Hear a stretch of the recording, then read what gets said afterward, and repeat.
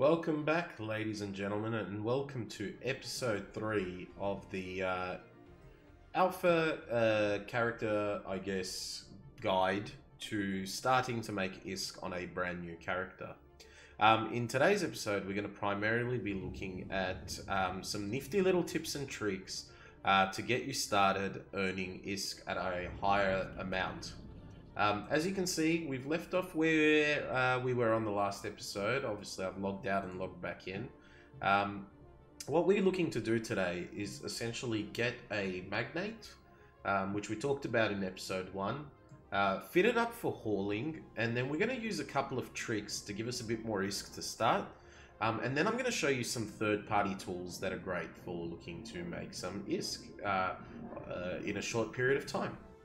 Uh, first thing I'm going to do is I'm going to create a another little fit here uh, in terms of what I want to do with this character. So I will eventually want to do some PvP, and one of the great ships, uh, Tech 1 frigates for some PvP, is a Tech 1 Dual Web Kestrel. I love this ship. It's so fun. I always fly it um, on new characters. I always put this fit together, even if I'm not going to fly one straight away because it's such a fun little ship to fly. So I'll fit it up, basically an afterburner, two webs, a scram, which I believe is here. We're going to put in the lows, well, let's put the uh, rockets on first. So it's going to be rocket fit, and I'm assuming I don't have the skills for the rocket. Now, if you want to check what the best variation of a Tech 1 uh, module is, what you do is you right click on it and you click show info. And then in the variations, the variation that is very last is going to be the best variation of that. Obviously in Tech 2, you can see we've also got Polarized uh, and Tech 2 launches. And then you've got Storyline and then you've got Faction. Faction ones are very expensive. Tech 1 Arbalest, they are fine in terms of the pricing. So let's put these on here. Let's then go to the low, uh, the low slots. What I like to do is just go pure DPS, but you can put whatever you want on. I think the ballistic controls, those are very expensive. So when you hover your mouse over them, it will also tell you the estimated price from an ISK perspective. Uh, so we've got ballistic tech 1 crosslink and then tech 2 tech 2 is going to take a while to, uh, get the skills for so let's go tech 1 because I want to fight ships that are going to basically be out of my range, I'm going pure damage on this. So even my um, even my uh, mid slots and my rigs, even my rigs are going to basically be looking at that rocket side of things. So uh, I'm going to first put some charges in here uh, to basically see the DPS. Faction charges can be fairly inexpensive. So let's just put some Inferno rockets in there. 55 DPS. And you can see if I turn these off, the DPS goes down. So in the mids, I'm actually going to put projectile weapon rigs. Uh, some of these are going to give... It's not projectile, sorry. Uh, I think it's missile launchers. Yep, missile launchers. So bay loading gives you DPS, but it takes up half of your uh, calibration. Things like thrusters give you, I think, faster reload. Fuel caches give you a longer distance. So at the moment, these hit out from 5k, and the scrams are within 10. Uh, sorry, the web is within 10. Scram is within 7.5. So putting a thruster in is not a bad idea because I believe it's going to give us another 2k. Yeah, 5.6k. And then if we can, we can't put another loader in. So let's just see what we can put in. We are basically maxing out our CPU. Uh, there's not really much else. You can leave it like this because it's going to keep it cheap. 9.9 .9 mil is not bad for a little frigate fit. Let's save this. So dual web, Kestrel, and this is obviously dependent on your skills. It's dependent on, you know, what you want to fly and what you want to do. But I'm just going to save this for now. And then I can see here, I need this skill book. Let's see if I can buy this off the market quickly. I might be able to quickly get one. So essentially what I've done right now, yeah, there's some there's a cheap one right here. I'm going to buy this, it's only 10k, and I'm going to queue it up because I'm going to obviously be doing other things. Uh, while I do that, I can essentially put this skill book into good use, inject that skill, put it in there. Let's get it up and running so that we can get uh, started with the rest of our day. So I will train it up to maybe level 3. We can even you know, just put one missile launchers here. Uh, that will give us missiles later, which are also very useful for PvE. So at least this way, we've got some, we've got a good idea of which way we want to go. So skill training queue is done. Now let's go to go get that magnate. Now, I picked a Caldari character on purpose. I wanted to be pretty close to Jita. Jita is one of four trade hubs in the game. Uh, well, I actually, I think there's five main trade hubs, but Jita is by far the biggest. It's located in this area here, called the Forge, this system here, I should say. And now, this map, as you can see, it's pretty gross. It's very hard to look at if you want to look at a lot of things. It's very hard to understand the map if you're a new player. And, you know, you'll really just have an understanding of the systems that are connected next door to where you are. The reason why I'm explaining this is it's very important for new players to understand how to look at the map on Eve. It's going to make a big difference to how you play the game. And it will give you a better edge if you understand maps early because things like distribution missions start to make more sense. You can start mapping out your journey. You can start mapping out uh, apologies, you can start mapping out basically everything that you want to do. So what I'm going to do right now is I'm actually going to show you a cool little website called Dotlan. Dotlan is a third-party tool, so evemaps.dotlan.net, or if you Google Dotlan, you can find it. Um, in here, we're actually going to search for Jita. Uh, so what that will do is that will give us an entire map of the system of the, the Forge. So this is the Forge. This is, if we go back to the game, this is basically a map of uh, the Forge, which I believe, where, where did it go? Somewhere nearby. There it is, down here. So the Forge, which is down here, as you can see, this is a map of that, but flattened.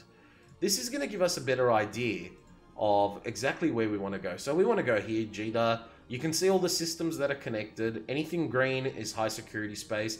Red and sort of orange and yellow is low security space. Obviously, there's no null security around here. It's a it's a high security system. So this gives you a great idea of places you can go, connecting systems, um, which ones connect to what. Uh, gives you a lot of intelligence. Now, the second part to this is if you actually click on the Jita icon, gives you a whole bunch of statistics. This is also great for particularly systems where there might be danger. It can give you information like ships killed, pods killed, NPCs, jumps, all the all the information you need to actually have quite a quite a bit of intelligence before you jump into somewhere like there.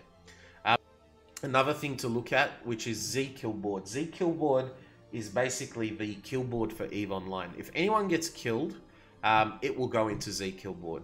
So, you know, for example, if I search up here Jita, then I can see, I can click on the system.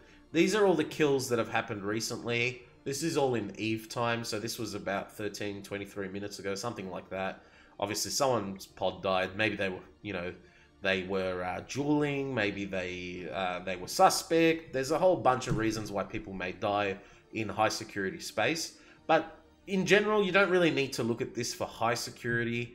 Uh, but you, it's good to look at it for low and null. It's definitely going to make a big difference in terms of the intelligence you have. Um, in the last couple of episodes, I did say you can die anywhere and here's a good example of that. $5.1 billion, you know, fucking, uh, with $5.1 million drop. And uh, if we have a look at that, you can see here that this is a Mac that maybe they were, I don't know why this Mac was able to kill it. It alphaed it out. Ah, oh, that's why. Cargo expanders, it just had a shield extender. It probably had enough DPS to kill it. Um, so, you know, someone's ganked this guy. Um, there's other ganks out there as well. You know, this one will be interesting. Nereus is a really cheap ship. Um, and he was hauling some expensive stuff in that Nereus. Um, so he lost, you know, 4.9 billion ISK, um, which is worth, you know, $50 US. He lost that like you should not be hauling in a Eris with that much loot. You should be having something better. It was one tornado that killed him. These this is an intelligence tool. It's highly useful. Definitely use it um, if you have the opportunity. So back to what we were doing. We are going to Jita. So we are going to search for Jita in our little console in the map because what you can do is you can right click and set destination. By doing that, you now have a route like a GPS up here um, and that will automatically route you to go to Jita fastest way possible if you've set that up. Couple of things to know. If you want, you can actually uh, set preferences here. Um, you can disable autopilot, you can avoid systems, you can manage your route. Basically, there's a whole bunch of things here that you can set up. Um, so I want to go shortest way possible. I don't care. Uh, usually I don't care traveling through low and null. But if you are sort of worried about that, you can go through safer systems. It might take longer. Uh, I set mine to shorter because basically I'm aligning, warping. There's no bubbles in low and high security space. It's not going to be too much of an issue for me. But if it is an issue for you, you can set that up to be as safe as possible if you wish. It's still not completely safe, but it's safe enough. All right, before we go, let's make sure we've got everything we we need. Yeah, yeah, yeah. We don't. I, I, mean, I don't really care about this ship. I don't care about this ship. So we can just leave those there. If we want to come back to them later, we can. So I will undock now, and I will start flying to Jita. And when we get there, I will meet you there. All right, we are halfway to the Jita. One thing I forgot to mention was about autopilot, and sorry about the route, I should say. So you'll notice here that when I am warping and jumping gates, it tells me the distance between where I am to where I need to be, um, including what the next jump's name is, and the jump after, and the jump after. So one part of, uh, I guess, you know, purveying and browsing intelligence is to look at things like, you know, where you are, where you're going, um, how far it's going to take, the security status of the next system, which is usually denoted by color as well. So all of this information is very handy. It's going to give you quite a bit in terms to go off. Uh, maybe not as important in high security space, but when you go to places like low security space, this can mean the difference between, you know, jumping from one gate to another, which may be gate camped, or, you know, jumping from one gate to another and being safe. I'll give you an example of this and where to look for what to look for on Z Killboard. Uh, if I go back there, so let's go back there now. Um, I'm just going to go to the main menu of Z Killboard, like the main page, and we can see here that there was a something interesting. So let's have a look at this one. Two one point nine billion dollar Leshak. Oh, maybe not. Maybe this one here, Enyo. Let's have a look at this Enyo. Uh, so we can see that this Enyo was killed at the Stargate. It actually tells you potentially where they were killed. So this Enyo must have walked in. There was a Loki, a VNI, and a Cyclone sitting on that gate. Must have been locked up and destroyed. And there you've lost your Enyo. So the information, like if I was one jump away from here and I was safe, and I had to go through that area in um, Geminate, I would look that up. I'd look at the time of the kill. If if I saw multiple kills on that gate, for example, I would potentially avoid that for the next half an hour to an hour until it may be safe to go. So Zkillboard is absolutely a third-party tool to look at and use, um, alongside things like Dotlan, which give you you know further statistics as well. Um, alrighty, so look, we're almost at Jita. Um, and what we're going to do when we arrive at Jita is that magnate we put together in, I believe, episode 1. Uh, let's have a look here. It will be in our corp fits. Oh, well, in my personal fits. So it's a cheap T1. Uh, I need the skill book, so let me buy that. Hopefully it's not going to take too long. I forgot about that completely. So we'll get the skill book, and we will essentially I wish I... Ooh, this is not good. So I'll buy the skill book and then we'll go from there. Alright, I'll be back once the skill is done. Okay, and we are back. So the skill is complete. We now can fly Amarr frigates. Uh, so what I'm going to do is I'm going to go back to my fitting window. There's my simulated fit there. Now, the good thing about JITA is because it's a trade hub, you can buy things pretty quickly. So for me to buy everything I need for this fit, it's pretty easy. All I can, all I have to do is put my mouse over the uh, bottom right corner here, where the estimated value of the ship is. Click buy all, and what that will do is that will create a buy order, basically telling me how much it's going to cost to buy everything straight away. And it's pretty close. It's about one mil. So I've already done that. Um, so what will happen then is everything will go into my hangar. So my ship hangar will have the magnate, my item hangar will have the items I need. And then all I have to do is press this button here, which is fit ship. And that will make sure I've got everything I need. And then I can call it whatever I want here. So let's just go newbies, noobs, whatever. And then just click fit ship. And that will fit my ship, which means it's actually now ready to go, fully fitted in my hangar over there. There it is. So let's just make that active and swap. And then that will swap my ship out eventually. There we go. Let's exit the simulation. Yeah, that's fine. And there we go. My ship is fully fitted and ready to go. So I now have a Magnate that has 1,159.6 M3 worth of space. Um, and it's now time for me to look at some missions, particularly distribution missions, which is what we're focusing on now. So I'll open up the agency window, and within the agency window, we've got these little boxes up here. I mentioned in the uh, first episode, I believe, that this may change in the next couple of updates. So don't hold me to this, this might change, but I believe the concepts should still remain fairly normal. What I want to do now is I want to look for agents in particular, not career agents. Career agents are for sort of tutorial style missions. Normal agents are basically just missions. So I want to look at agents. Um, now, you can put some science behind this if you want. So you can pick a particular faction or a particular corporation that you want to uh, raise your standings with. For me right now, that's not a big issue because I basically have no standings with no factions. Um, what I want to do though is I want to look for distribution missions and I want to make sure that it is the highest available to me. Now, if I wanted to, I could even go and make sure that it's within two to five jumps. Um, there is a, I guess, a rule of thumb to these missions. If you do them in low security space, you are going to get better rewards and better standings, and it's going to be a lot faster.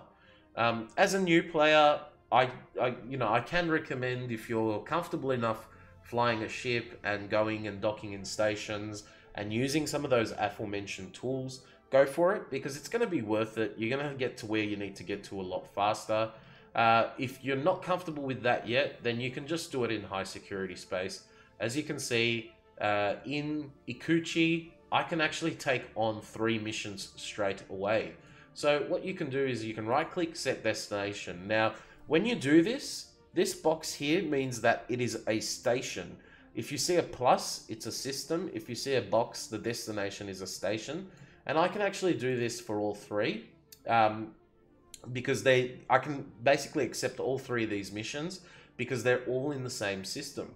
So once I've done that, uh, all I need to do is now undock and go to the uh, the station and basically accept the mission.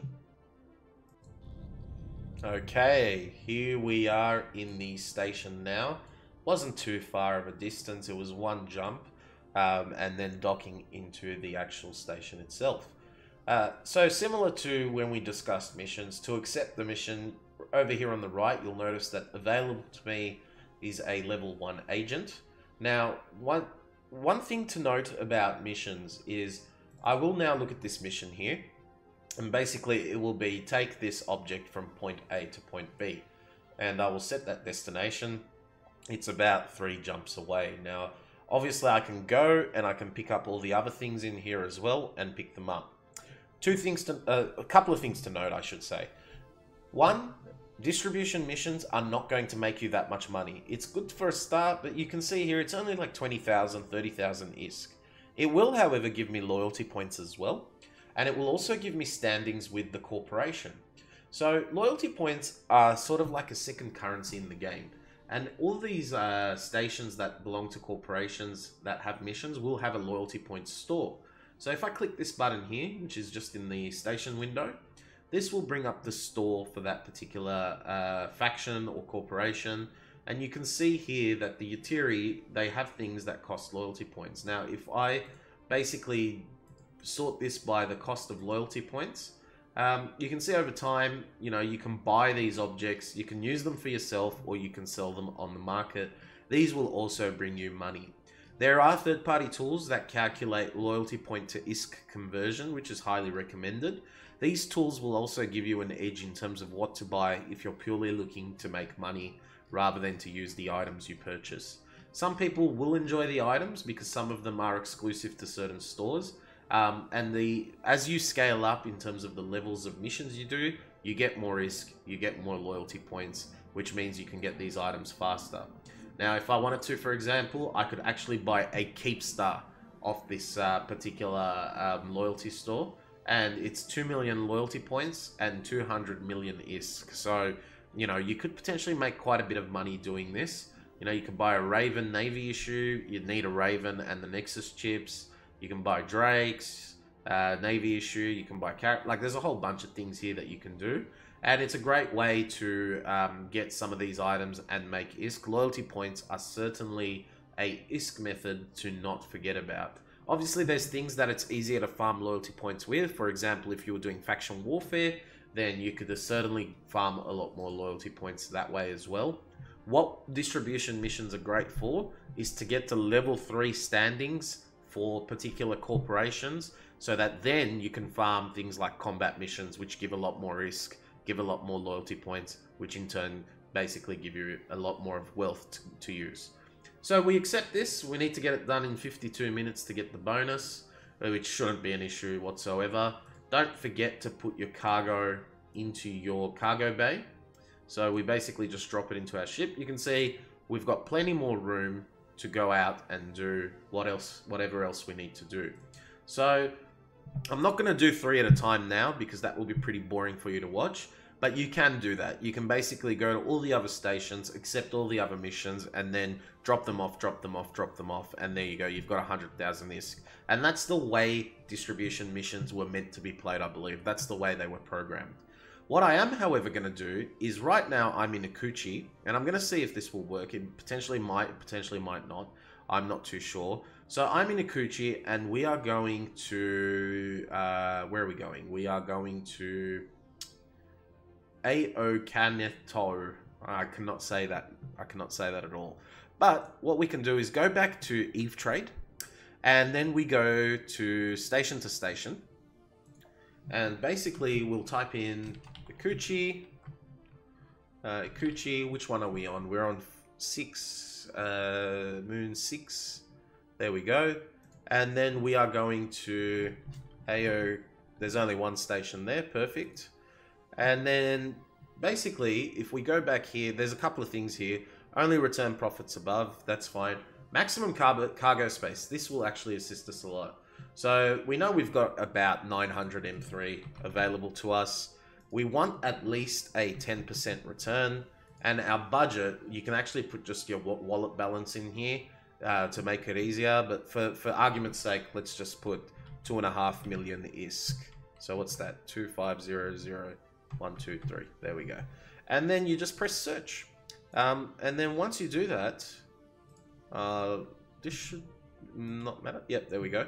Once you do that, it's going to go look at all the buy orders, all the sell orders, and hopefully, if there is something that will make you profit, then it will spit it back out at you and say, yeah, you can actually go and buy this in Ikuchi, sell it straight away in where you're going, and you're going to make X amount of ISK straight away.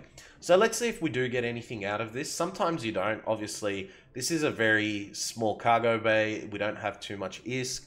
Sometimes you'll be surprised. Like, even if it's a return of, uh, you know, 6,000 ISK, hey, it's free money. Like, why not? You're just going to pick it up and sell it. There's also things like NPC uh, buy orders that people don't know about, and NPC buy orders are great because sometimes things like weird things like weird objects in space can get sold at one and bought at the other. But uh, we can see here that there's nothing here that's really going to make us money. Uh, we can do region to region as well. So we can basically, if we go back to the main page of Eve Trade and we just look at if we're going between regions, we can do that as well. Um, so I don't know if this will actually work. I don't think it will because this is, it's all in the same region. But uh, let's say you're going from one region to another, then you could also do that too. Alright, I actually picked up that other mission, which turned out to be a storyline chain style mission. So I'm now uh, here in the um, in the first drop off area. So here we are. Basically, I can open up the mission here because I've got two at once, and then they're all in my interests as well. Uh, so what I'll do is I'll just start a conversation, and then press complete. And there we go. Big standings boost. 32,000 ISK, 19 loyalty points, all done. Uh, if you want to look at how your standings are going, you can press, when you get it, you can press here, or you can open up your character window and then go through the interactions tab. And what you'll notice here is I've got the agent standings, which don't make too much of a difference, to be honest. These can go up to 10. But more importantly, corporation standings, which is where you can see you are grinding up to level up your missions, and then you can also unlock things like epic arcs. So over here, just by doing that, we are probably a tenth of the way to level 2 missions. Um, and you can see it takes like a couple of seconds to do these. So we should have level 2 well and truly in under an hour. And then level 3 potentially could take 2 to 3 hours just by running only distribution missions. You can, if you want it to be a bit more profitable getting up to level 3, do combat missions with frigates and destroyers and then cruisers. Uh, but for now, this is a pretty good way for a new character uh, to be able to go into, you know, level 2 missions without necessarily too much grinding. So, we close that, we close that. Now, my way back is actually going to cover my next mission. So I'm going to go back, it's going to be the exact same thing I'm going to hand in the mission. It's actually an arc, which is going to give me more standings. It's one of five missions. Um, and then basically all happy to go. So thank you guys for coming into episode three. It was a bit of a longer one. Um, in fact, I'm not too sure if I'm going to break this up into two parts. Uh, one part being sort of the tools and the second part being the distribution missions. But uh, I'm hoping you are enjoying it. I'm still playing around with things like audio settings. I'm trying to get it as crisp and as clear as possible. If you are enjoying the content, please leave a like, comment, subscribe. Let me know what you think. Let me know how I can improve. It's all about making sure I give you as much information as possible without bombarding you. I've also brought in the game volume into this episode. If that is something you are enjoying as well, let me know. I've tried to put the game music in as well. I do love the Eve soundtrack, but I know some people don't like it and they just play this game without sound. After all, there is no sound in space. Thank you again for watching, and I will see you on the next one.